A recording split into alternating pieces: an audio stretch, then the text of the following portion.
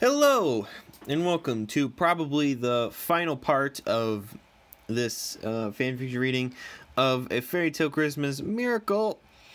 Uh, so we have only five chapters to go, and this one is the White Rabbit. Let's let's begin.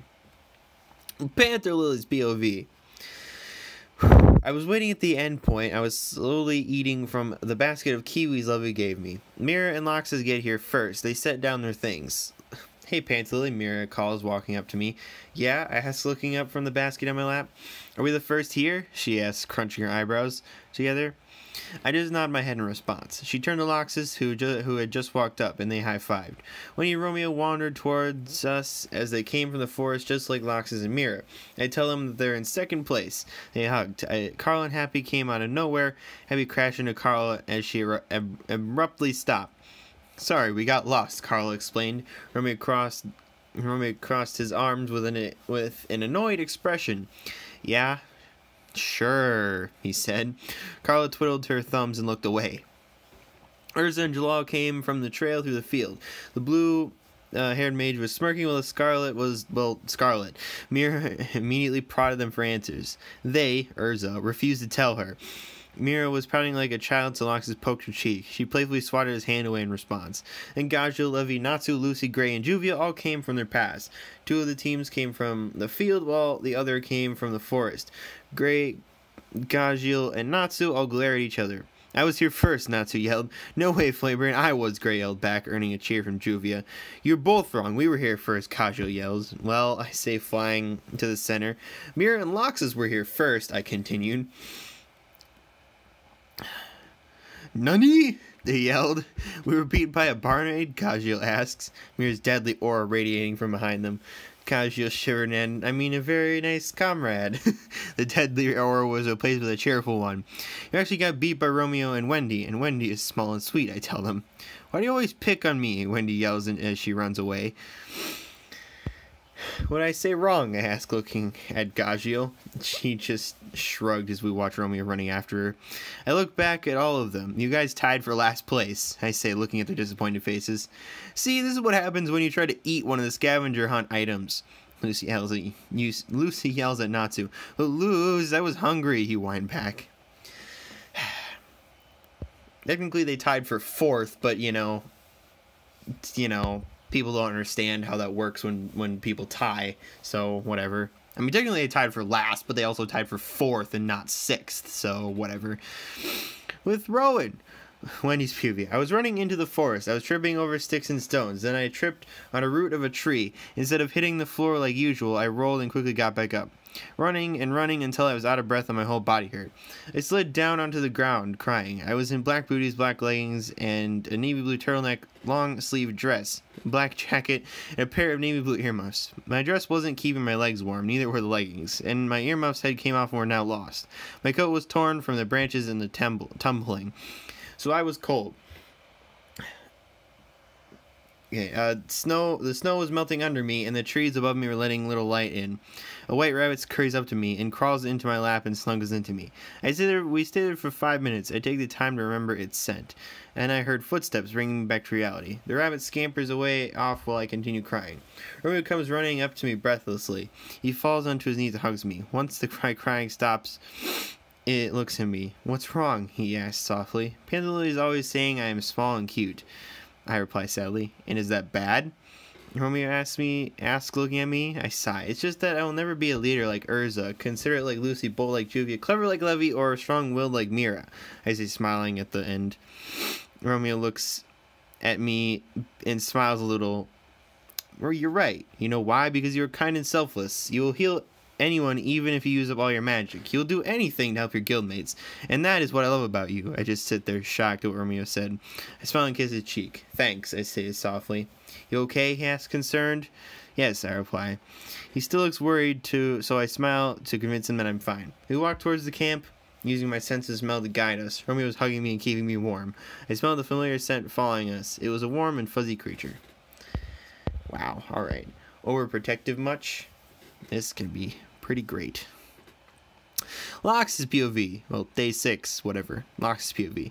As as always, I woke up by the smell of food. Mira was busy working in the kitchen. I walk up behind her quietly. She dropped something, but I quickly caught the item. It was an egg. She smiled at me. Thanks and good morning. She delicately takes the egg. Morning, I reply. I was making. I was thinking about having a free day. Hey, Mir, can we just have some free days? I ask, hoping that she will not hit me. Sure, how about from the day after tomorrow to the day before Christmas Eve? She suggests. That would be nice, I reply. Time skip, 10 o'clock. Everybody was around the tree. Mira was writing on her clipboard. Ships? I asked. In return, she just nodded. I chuckle at her ship craziness. Mira calls for attention and starts. Today we will uh, we will have a snowball fight in pairs. Then lunch. Then we can fishing. Good. Then we can fishing. Everybody nodded in approval. Then Natsu brightened. Literally, he went to flame. Do we get to eat the fish? Everybody rather sweat dropped and or facepalm. Sure, Mira offered. Natsu yelled, Woohoo! Mira pulled out her locker room phone and texted somebody. Pixel and Liz. Anyways, Mira told us the pairs, guess the pairs. All the pairs worked on making the fort. Mira was making snowballs while I was making the fort. Slowly, all the pairs were throwing snowballs. Wendy and Romy had the advantage because of Wendy's magic. Same with Natsu and Lucy. I mean, whatever. Natsu just melt the, melts the snowballs, and Wendy speeds things up and improving her and Romeo's strength. Natsu threw a snowball at Mira, but she sensed it and dodged. Romeo and Juvia. Romeo got Juvia out. Gray with his magic got Lucy. Erza and Jellal Gaju was being overprotective of Levy in both Mir and I can sense when anything comes near us. Natsu was going on rage mode because Gray got Lucy out. Natsu in rage mode got Gray and Levy out, then Kaju in rage mode got Mir and I out. God, the people who are left are Gaju, Natsu, Wendy, and Romeo. Natsu gets Romeo out, and Kaju gets Wendy out. Then finally, there was 10 minutes of Natsu and Gaju trash talking each other like idiots. Natsu kicked a snowball because Gaju called him Flame Brain. The snowball broke in midair and sprinkled Gaju with snow. Gaju hit Natsu with a snowball and Natsu melted it off. Lucy hugged Natsu and consulted him while he pouted. Levy was hugging, hug, hugging Gaju while he scoffed and blushed. Mira was almost ta- was taking pictures like a madman and almost fainted twice. Heh, she's cute. Is that been to reality when I heard two people? Hey Mina, hey guys. the, Pixana special. Fuck.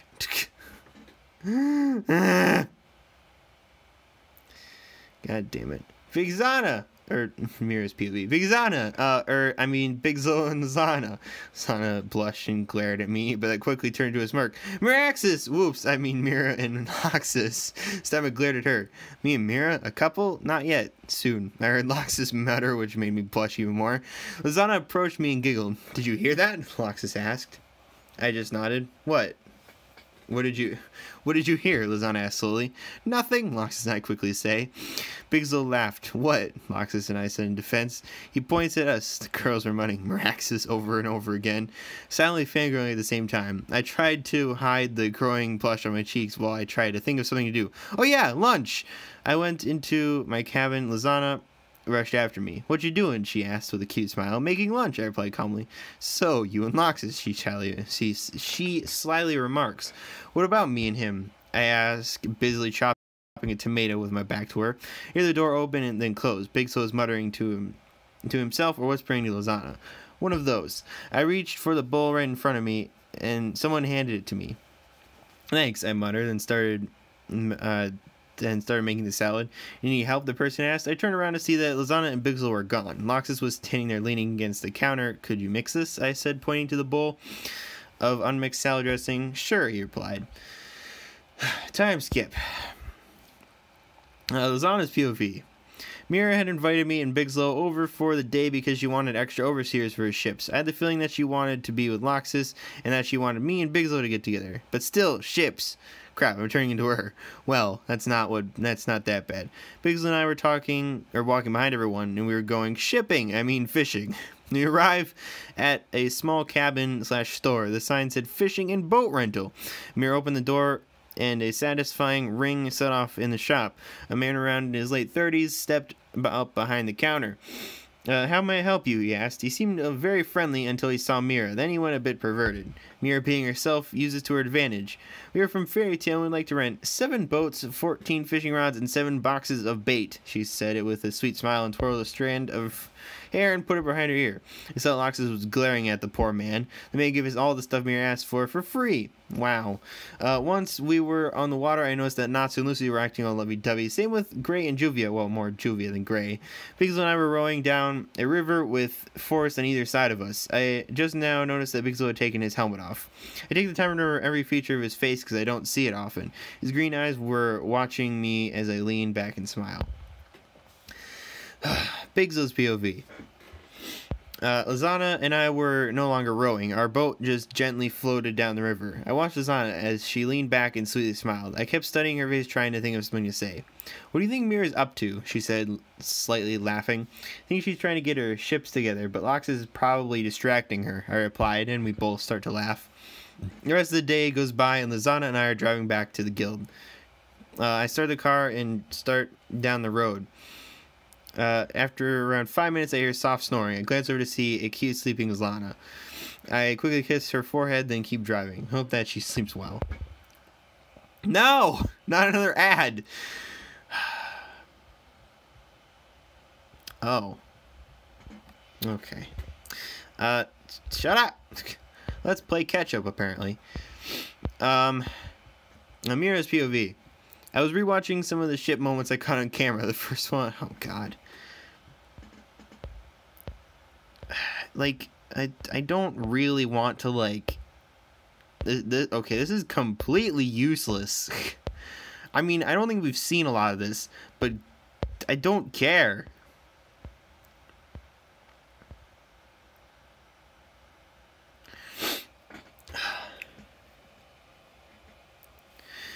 Uh, oh god. Okay, that's when Loxus took my camera. I'm just not gonna read all that because it's so it's it's unnecessary and I don't like it. Okay, uh, that's when Loxus took my camera. What? There's a picture of when I fell on Loxus when coming down the stairs. Everyone is in the picture except for Happy. I looked up and it was around lunchtime and Erza and Lucy were cooking. Happy! I yell. I saw Bluebird and heard Happy laughing. I snapped around and pulled his tail until he was level with me. You finally found out, huh? Yeah! I yelled. I felt a hand on my shoulder. What's wrong, Mira? Loxus asked as he turned me around. Happy came with me because I was still holding his tail. I just blushed and stuttered, um, mm, er, yeah, he asked. Happy had wriggled free from my grasp and took my camera. Look at what I got on Mira's camera yesterday, he exclaimed, shoving the camera in Lox's face. He pushed the camera back so he could see it. He blushed and took his hand off my shoulder. I hear some ooh, they totally like each other. And did Loxus just blush? Just blushed even more. I just ran into the forest. I hate it when people do that. Lisanna is just an exception. Oh, sure. Ox's POV. Mira ran into the forest. I know she hates it when people do that, but can only take she can only take so much before she busts. I glared at everyone and run after Mira. I follow her scent deeper into the woods. I come up and see her punching a tree with tears running down her cheeks. Mira, what's wrong? Held her fists and unrolled her hands. I kissed the top of her hands. Tell me what's wrong. She just looked at me. The only reason why I snip ship people is that I haven't been able to tell you something. You become cold and ignored me and everybody. Now, whenever people say something about us, you avoid it and act like you don't care and, and just frustrates me. She broke down into my arms. I was processing this. Mira's been waiting for me. All our friends have their soulmate because I meddled with their life. I try to talk to you and stuff, but it never works. She mumbles in my into my chest. I lift her off the ground and make her face me. You're the one that I have always looked at and thought she is the one and only. But you were always out of reach. You were the sweet motherly angel of the guild while people shun me. I've always loved you. You and you only. I saw sapphire eyes enlarge. She put a silky smooth hand on my cheek. I love you too, and only you. I let her slide down, and we kissed. I, I could still feel tears running down her cheeks, so I wiped them away. Let's get back to the camp, I stated. We smiled at each other. She truly is my angel, but ironically my she-devil. Oh, God. And Christmas, which is apparently is the last chapter, so... this will eventually be this will eventually be over. Hallelujah. Romeo's POV. Uh, it was Christmas Eve, and everyone has put their presents under the tree. Now we were all drinking hot chocolate in our cabin. Mir and Loxus are together, so are Natsu and Lucy. Living, Gaju, Green, Juvia, Joel, and Erza are just flirty to each other. They. Oh. They spend their time together like they won't be together for long. It's kind of sad. Had pushed Wendy and I into one chair. Talk about awkward. Let's go to sleep, guys. It's getting late, Mira suggested. I heard Wendy mumble something about Santa Claus. I chuckled at her childness. What is it, Romeo? And she looked at me confused. Nothing, just thinking about how Natsu would look and act if act like if he wasn't a dense idiot. I cover up. Hey, we heard Natsu yell. He just laughed. Everyone else was gone, so I walked to the doorway with Wendy. Good night, Romeo. She smiled and kissed my cheek. Good night, Wendy. It was Christmas. I heard a knock at the door. Uh, then Wendy's voice. Mira wants you guys to grab your stocking and go to her cabin, she chirped. fucking whatever. We were now in Mira's cabin. Uh, Wendy walked in and perked up. Yay, Lox, you're actually wearing the costume. For all of you who are confused, that their Loxus just has on a normal Santa Claus suit and hat on. No crown, belly, or beard, though. Mira had on a red dress with fur lining and also uh, had a Santa hat on. Loxus seemed like he didn't want to be there at all. when Wendy went up and hugged him. Thank you so much, Loxus, she said. He smiled and looked down at her. No problem. Everyone else is POV except for Wendy and Mira's. What? Did you just hug Wendy? Hers is POV. We were all in a circle. Wendy, why don't you open your stocking first? I suggest. Everyone not in agreement. Really? She asked, Re- excited. Yes, really, Romeo replies, smiling at her. Everyone opened their stockings and had fun. Uh, that's not a useful stocking, but whatever. People are stupid. Um. Uh, okay. Uh, everyone opened their stockings and had fun. Then we all brought our gifts and passed them out to everyone. Joel came up to me and gave me a present. Open it, he told me. I undid the ribbon and teared the wrapping paper. I picked up I picked up the lid. Inside was a beautiful strawberry cake. Look inside the lid, he added, sitting next to me. I flipped over the lid. The next words I read uh, were the best words of my life. It was a certificate from the Magic Council. Even better, it said, Jellal Fernandes, we have looked into your so called crimes and found that for all of those you weren't the cause. We have found that Ultear Milkovich, uh, but she has already passed on. Uh, but in doing so, she saved the world. In conclusion, we are releasing you from being on the search as a criminal. Sincerely, Magic Council. That was a terrible grammar. Uh, tears stung my eyes as I placed my hand over my mouth. I dropped the lid due to my hand shaking. Romeo carefully took the lid and passed it around. Everyone was in shock. I turned to Jellal and kissed him. I knocked him over and Mira had her camera out. But none of that matters because Jellal can finally live his life the way he should, with Meredy, the guild, and me. We can fi- he can finally stop with the you walk the path of light crap. Ay ay ay. Uh, POV. When he came up to me with a present. Here, open it. Inside was a scarf that was pretty close to the one that Natsu had, only my scarf was the reverse, meaning the color was reversed. No shit! Um, or the reverse of his, but whatever. Uh, me, I hugged Wendy. Thanks, I exclaimed. She giggled. I picked up mine for her. It was a small box about the size of a tennis ball. It was wrapped in sky blue paper and had a silver ribbon. I handed it to her and gestured for her to open it. When she uh, does, she gasps and poses the small statue of Grandeeney. I did lots of research and got bunches of pictures to give to the sculptor. He did an amazing job. I told Wendy to pull the spongy thingy that helps protect the statue up. Under there was a ring. It was the shape of a rose, and instead of leaves, it had sapphires to symbolize her sky magic. I know, I know, this was very expensive stuff. It's the kind of thing that you buy when your dad is a perverted guy who just wants to see his son grow up. Sure. Now, Lewis's POV. Natsu, I assume, was about to dig into the present I got him, spicy foods, but instead he gave me a present. I untie the golden ribbon and tear the baby blue paper off.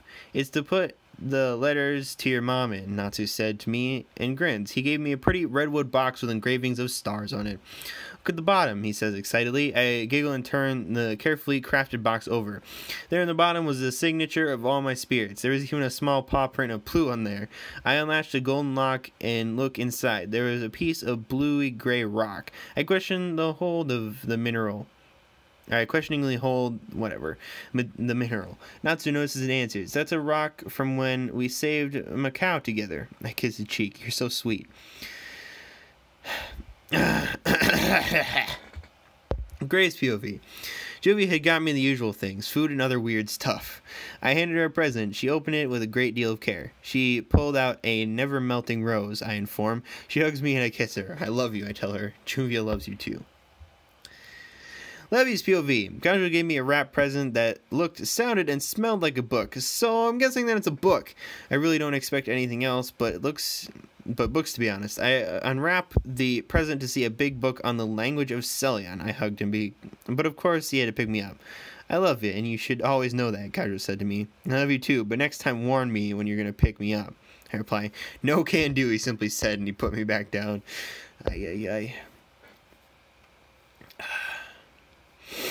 Uh, POV.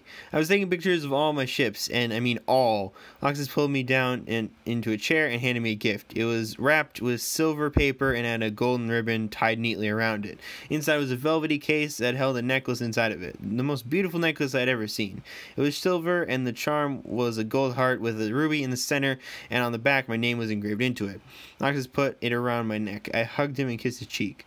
Thank you, I say over and over again. No problem. Plus, I love these new headphones you got me me. He replied and kissed me. uh, time skip. We were all in the car heading back to the guild. It was the day after Christmas, and we were all kind of sad, except for Erza and Jellal, because now, because he was now free to do whatever a normal citizen could do. And the best thing is that all my ships are happening in our canon, sure. And I'm glad to say Loxus and I are, you know, perfect. okay, so that story is finally over. Good God.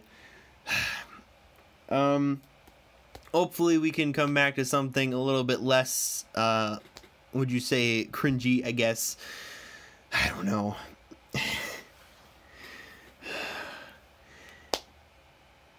maybe maybe a better story. That's a that's another good one.